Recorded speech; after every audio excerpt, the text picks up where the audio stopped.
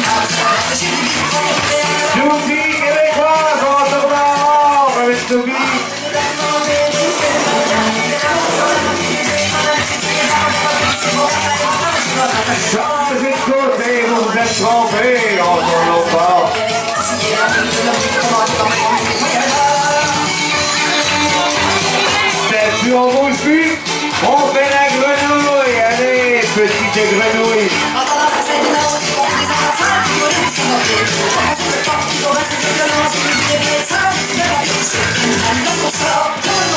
by two, smash